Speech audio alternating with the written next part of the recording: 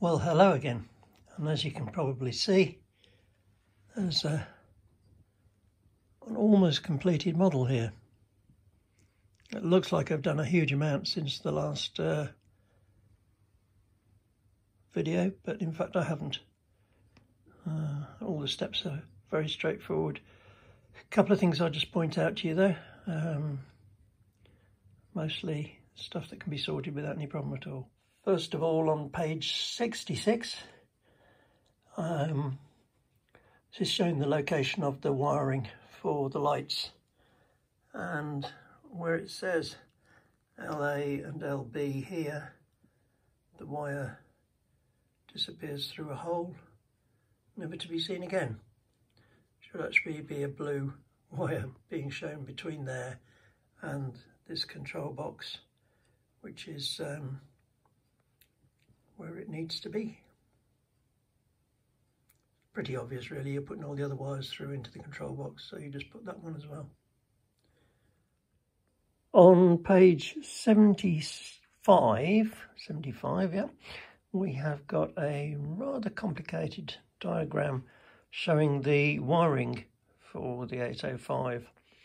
Um, and it's showing the last few bits to be put into place, which are the wires for the rotate and elevate of the missiles. Um, so what we see is uh, M3, M4 and M7 in the middle of the picture.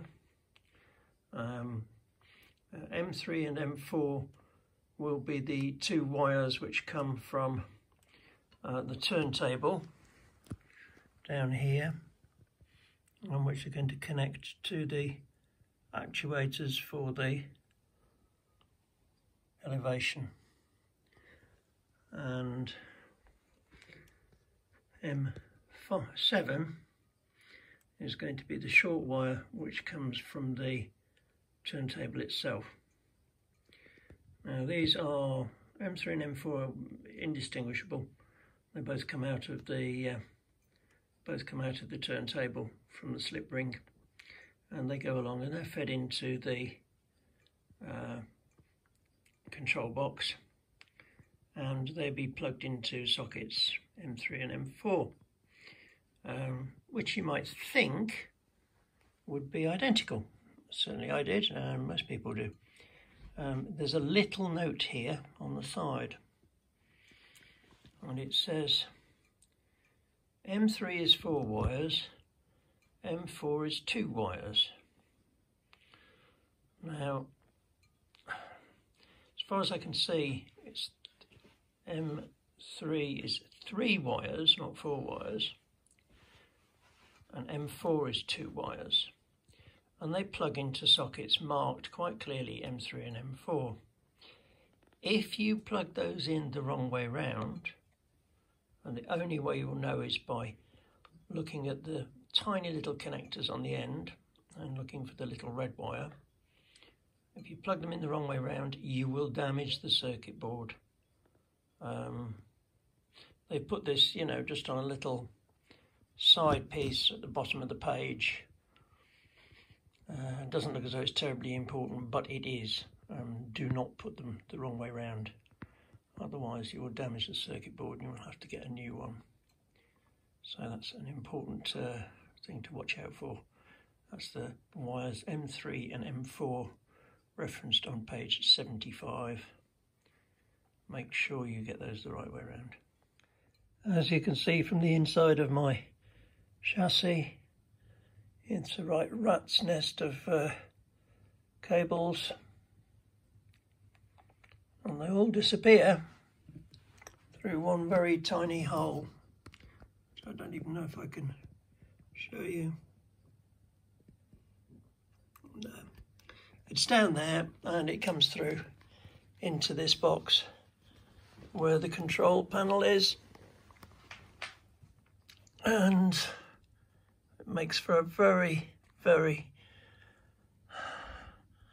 closely packed bunch of wires coming through a small hole. Um, as a result of that, I wasn't able to put the circuit board dead flat and I had to position it leaning forward slightly, but uh, no problem. Now just a little bit about the radio control.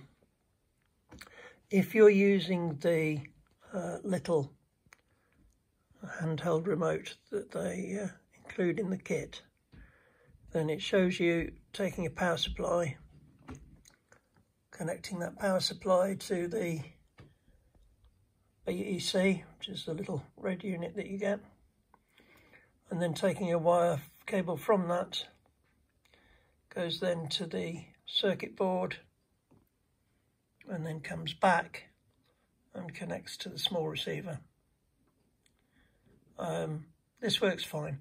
It will also work the other way around if you swatch, if you switch this plug with this plug, absolutely no difference. They're completely interchangeable because obviously there's the, the black, the red and the white in both plugs. So you can change them around.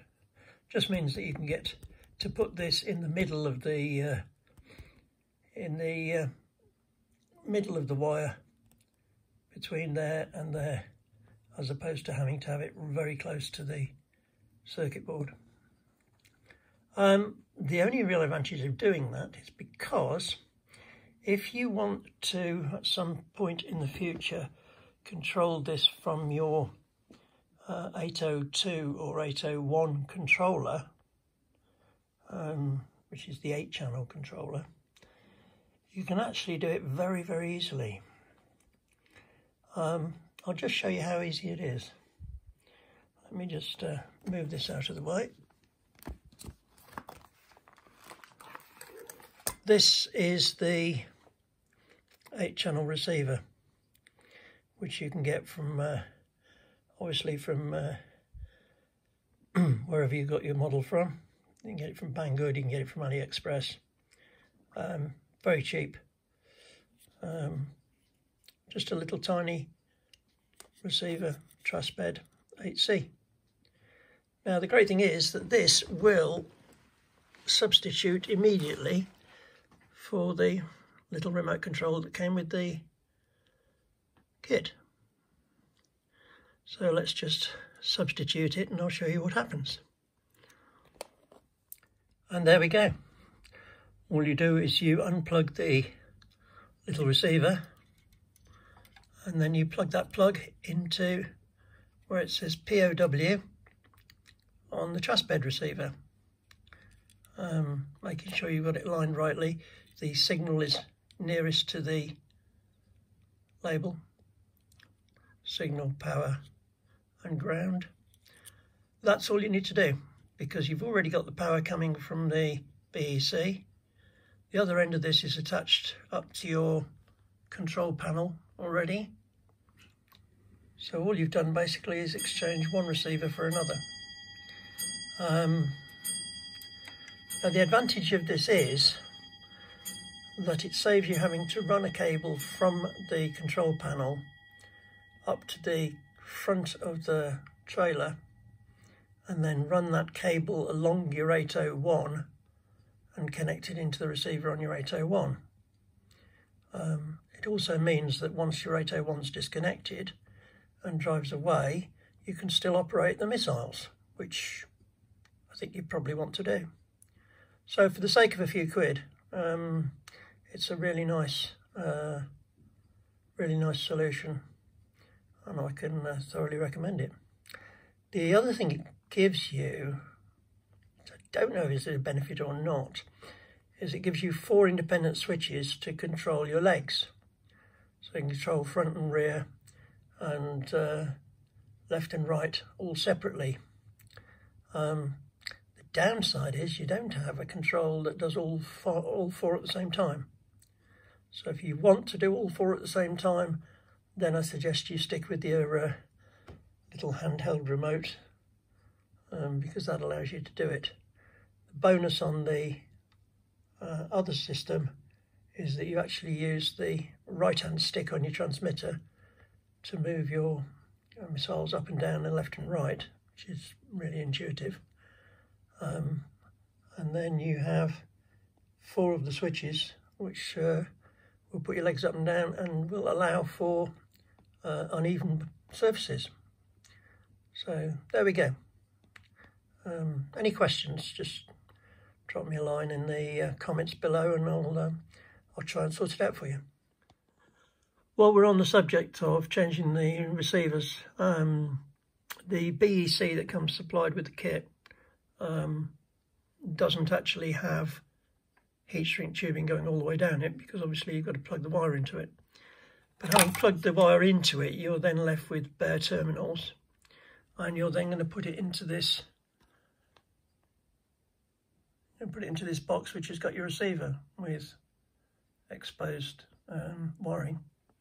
So I think it's probably a good idea to put some uh, heat shrink on that once you've connected the plug. And if you have any problems um, with that, again, give me a yell. And this little receiver fits beautifully just in at the end of the just in at the end of the unit. So everything fits inside perfectly. Or will do when I close the lid. There we go. I just needed more hands. That was all. Right well I'm about to um, put on the base piece. Um, doesn't fit quite as well as it should because unfortunately they show these wires here going underneath this and the same at the back wires going underneath. But of course unless you cut off the um, unless you cut off the plugs on the end of the wires and solder them back on again afterwards uh, they won't go underneath because you've already constructed everything and uh, there's not enough distance between the beam and the plate to get the uh, plugs underneath. So the plate that goes on the bottom will actually sit on top of these cables so they'll be slightly proud but it does fit well enough and certainly won't be too much of a problem. Well I hope you can guess what this means. There are two virtually empty boxes. Just a tiny little fire extinguisher and a little bit of chain left over which I haven't got around to fitting yet. But that means the beast is nearly done. And she is a beast. Quite huge one or two things we'll just talk about uh, First thing, at the front, you have these posts which are going to have chain looped between them. Uh, and they supply you with some very tiny little screws, which you can see there, to go into the pre-drilled holes on these posts.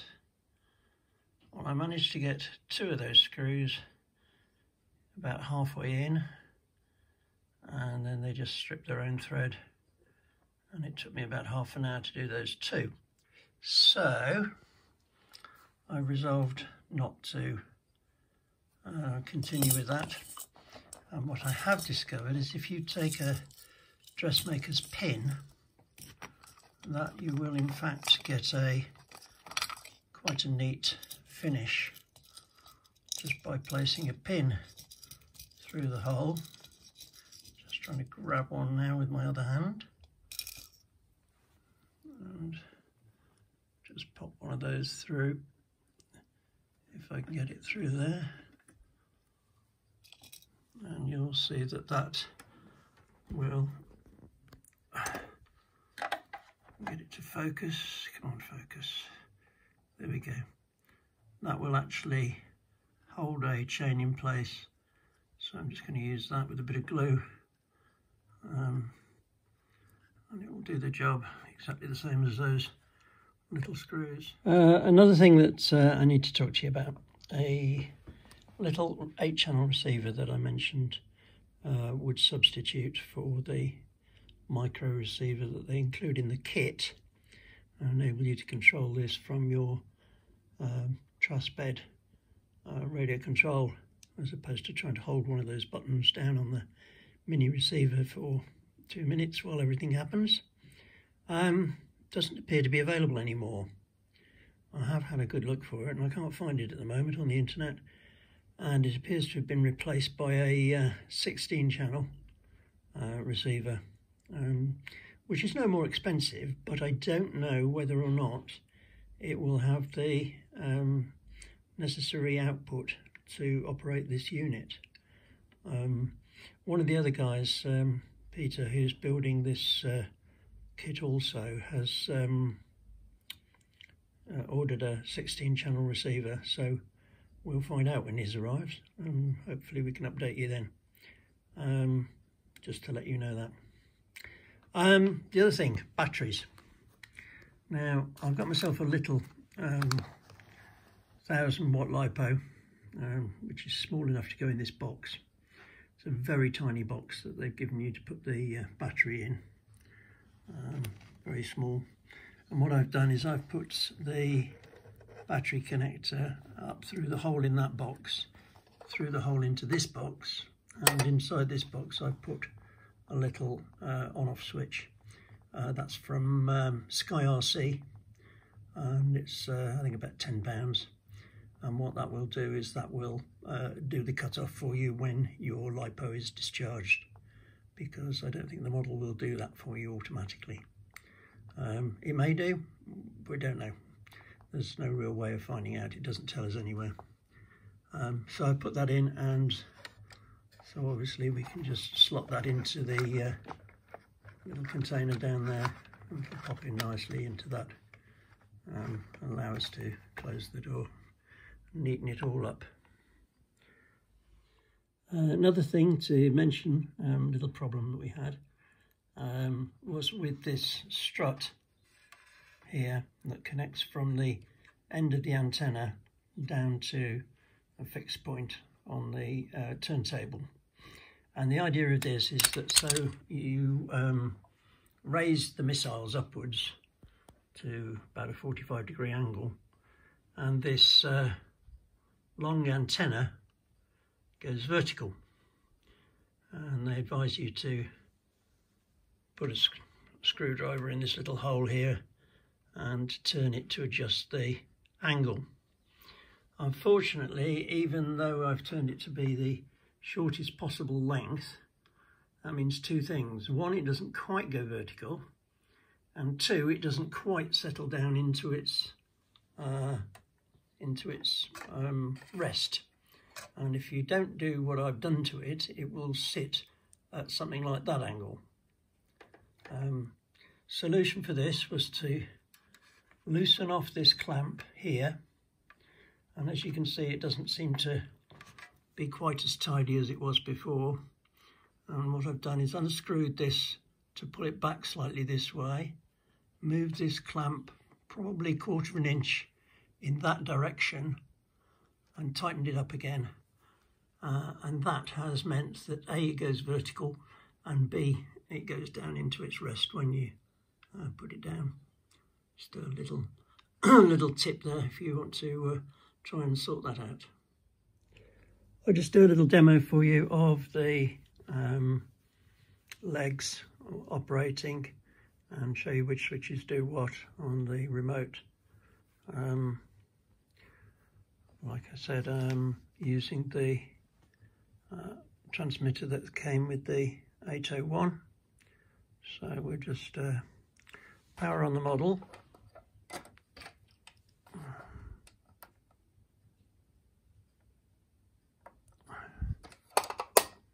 And we'll power on the receiver, the transmitter rather. And what should happen is we should get some flashing lights, right. So we know we've got connection now. Um, on the transmitter, this button right at the very left-hand end will stick on some little red lights to go with the yellow ones. Quite why they've got that separate, I don't know, but it's there. Um, I understand if you take the supplied um, signal control line, which I haven't used, and you run it up to your um, 801 and plug that into your 801, that you will get um, indicators operating if you've if you've got them working on your 801. Um, personally, I can't stand indicators on little models uh, just operating at anything other than a, a pretend traffic circuit. Um, when you're driving through the woods, you're, in my opinion, unlikely to keep putting your indicators on, so uh, I always make sure they're disabled. Right, let's have a look. Um, okay, the raise and lower of the missiles is on this stick, so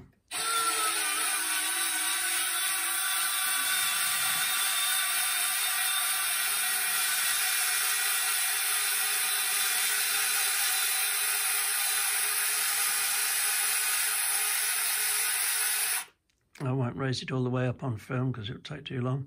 Um, you've also got the rotate on here as well. Um,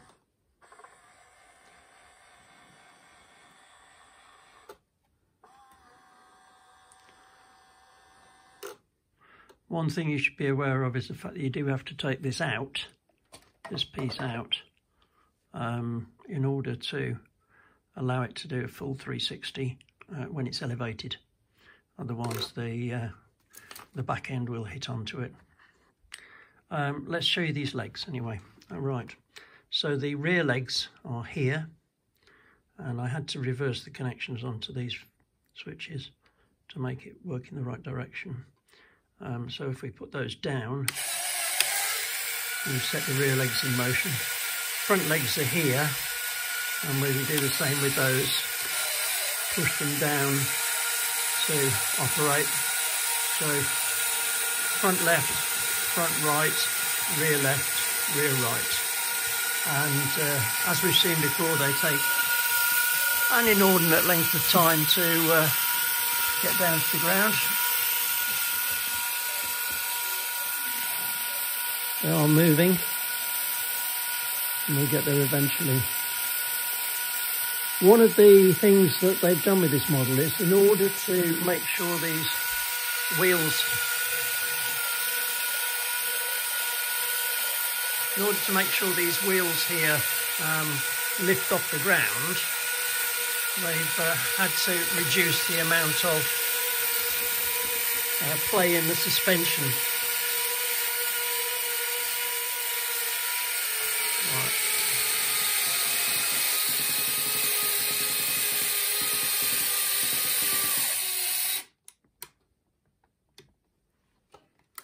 Right, it's important now you've got four little switches to turn off there.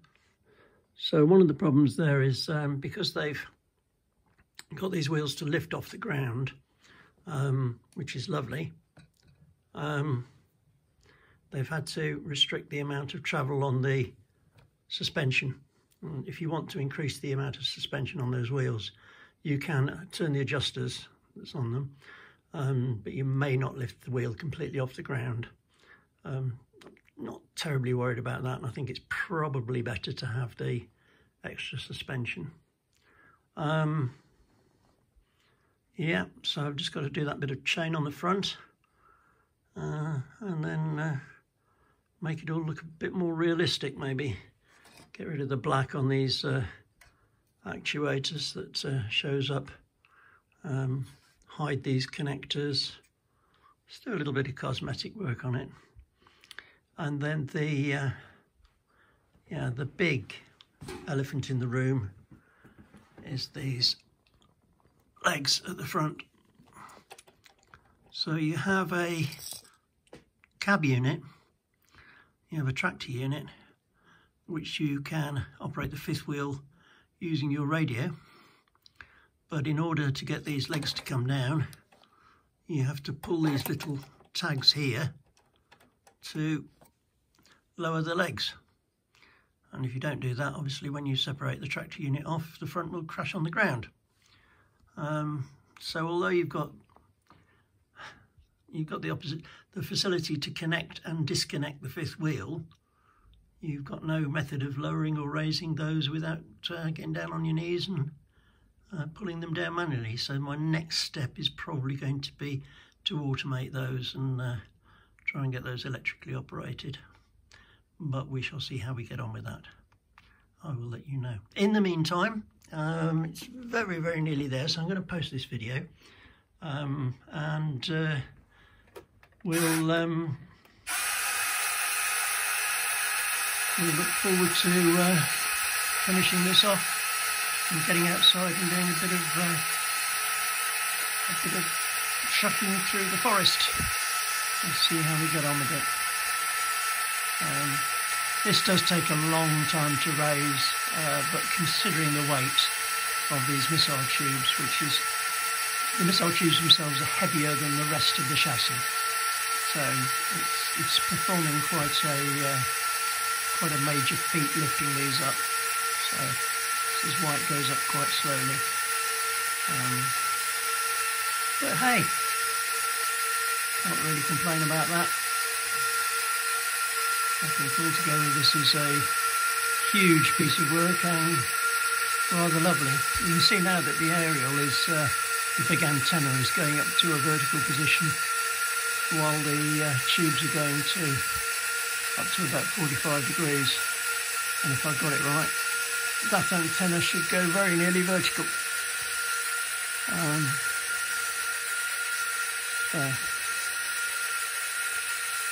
It'd probably be better to put this on a switch as well rather than on a, a uh, joystick. There we go. And I think that's uh, that's pretty near vertical. It's uh, pretty near. Right, there she is. The beast in all her glory. Hopefully you've enjoyed that. And uh,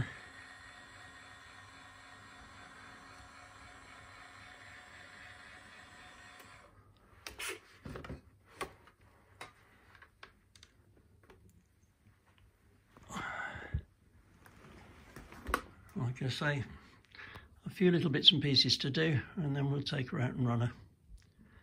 Okay, thanks for watching.